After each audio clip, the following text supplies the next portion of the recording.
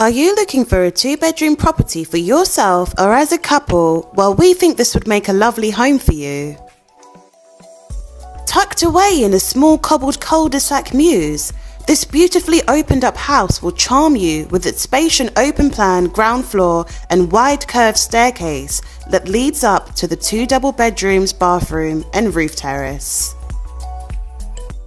We love this property for its location and its modern renovations. The open plan lounge is both bright and spacious. The location of this gorgeous Mews house couldn't be better for easy access to everything brilliant Balham has to offer.